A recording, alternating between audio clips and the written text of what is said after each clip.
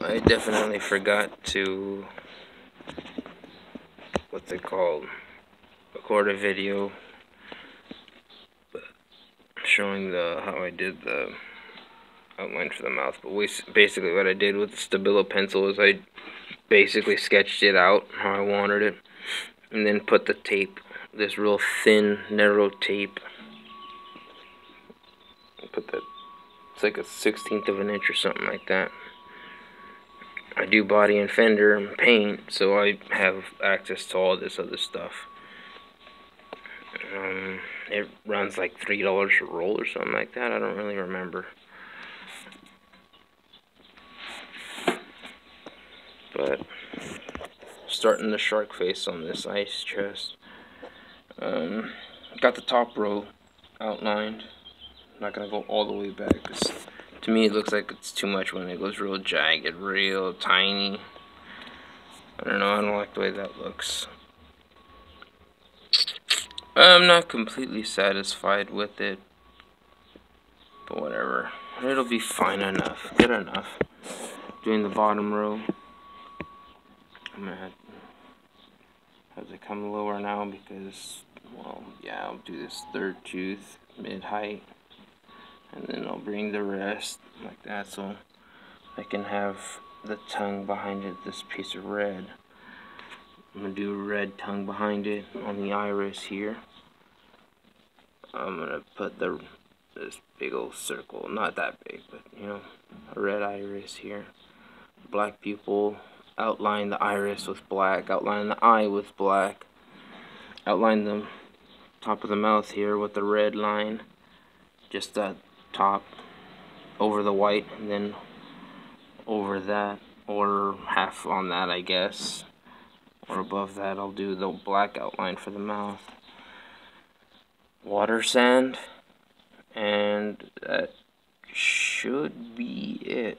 After that I'm just gonna spray some flat clear which I have a half gallon of and some industrial stuff. It's real thick and real strong. It's pretty tough stuff. and I got some, you know, some random crap in here.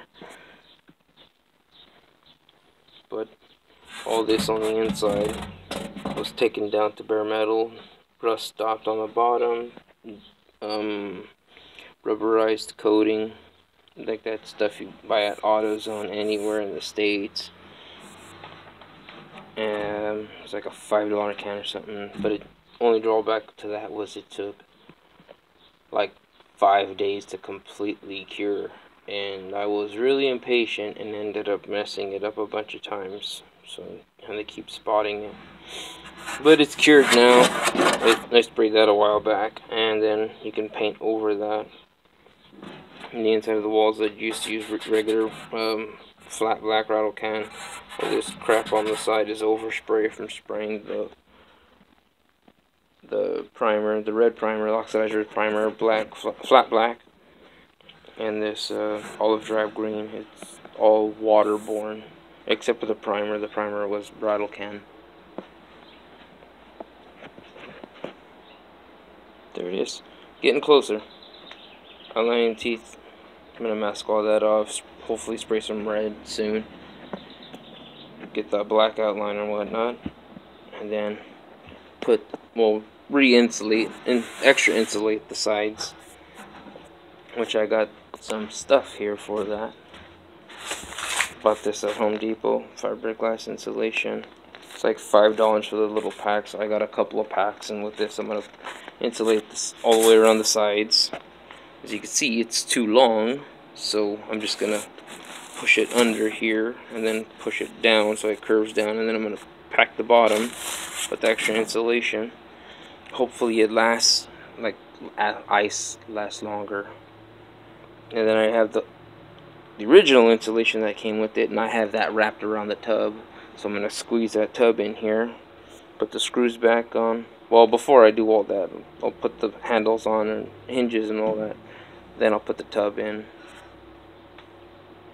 So on and so forth. Getting getting closer getting closer